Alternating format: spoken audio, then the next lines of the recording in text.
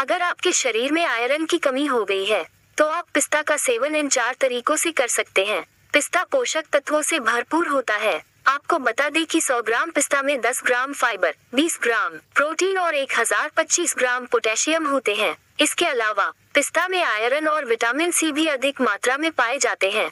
इतना ही नहीं, पिस्ता मैग्नीशियम और विटामिन बी छह का भी अच्छा सोर्स है।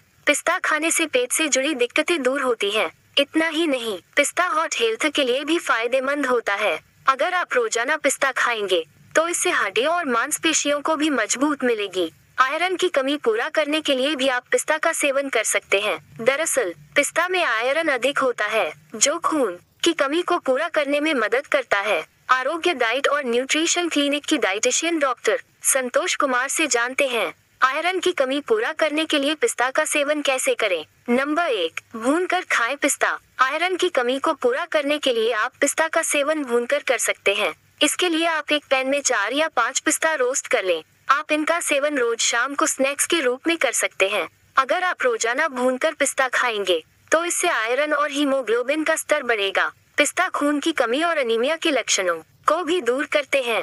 इसे भी देखें अखरोट और पिस्ता खाने से शरीर को मिलेंगे ये पाँच फ़ायदे। इस तरह करें डाइट में शामिल। नंबर दो, खीर में डालकर खाएँ पिस्ता। अगर आपके शरीर में आयरन की कमी हो गई है तो आप पिस्ता का सेवन खीर में डालकर भी खा सकते हैं। इसके लिए आप दूध में चावल डालकर पका लें और फिर इसमें बादाम, काजू और पिस्ता मिलाएँ। अगर आप रोज सुबह नाश्ते में पिस्ते वाली खीर खाएँगे तो इससे आयरन की कमी दूर हो जाएगी। इससे आपको दूध के भी पोषक तत्व मिलेंगे और आप स्वस्थ महसूस करेंगे। नंबर तीन, दूध में उबाल कर खाए पिस्ता। शरीर में आयरन की कमी होने पर आप पिस्ता को दूध के साथ मिलाकर भी खा सकते हैं। इसके लिए आप एक गिलास दूध में चार या पाँच पिस्ता डालें। अब इसे अच्छी तरह से उबाल लें, फिर आप इस दूध को पी सकते हैं। आप पिस्ता वाले दूध का सेवन सुबह या शाम के समय कर सकते हैं। अगर आप रोज़ाना पिस्ता का दूध पेंगे तो इससे आयरन की कमी धीरे धीरे दूर होने लगेगी। इससे हीमोग्लोबिन बढ़ेगा और अनीमिया के लक्षणों से भी छुटकारा मिलेगा। इसे भी देखे, बादाम और पिस्ता एक साथ खाने से शरीर को मिलते हैं ये पाँच। लाभ, हेल्दी रहने के लिए डाइट में करें शामिल।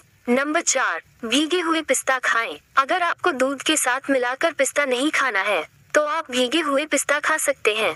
इसके लिए आप पानी में पाँच या छह पिस्ता रात भर के लिए भिगोकर रख दें। सुबह खाली पेट इन पिस्ता का सेवन करें। रोज सुबह भीगे पिस्ता खाने से शरीर सभी पोषक तत्वों को आसानी से अवशोषित कर लेता है। इससे आपको पर्याप्त मात्रा में आयरन और प्रोटीन मिलेगी, जिससे आयरन और हीमोग्लोबिन का स्तर बढ़ेगा। और वीडियो अच्छा लगे तो वीडियो को एक लाइक ज़रूर कर देना और चैनल को सब्सक्राइब ज़रूर कर लेना, ताकि हमारी वीडियो हमेशा आप तक पहुँचती रहे और एक छोटा सा प्यारा सा कमेंट में लिखना। जय श्री राम। भगवान आपको सारे सख्तों से बचाए रखेंगे। धन्यवाद मेरे दोस्तों। फिर मिलेंगे अगली वीडियो में। जय हिंद वंदे मातरम।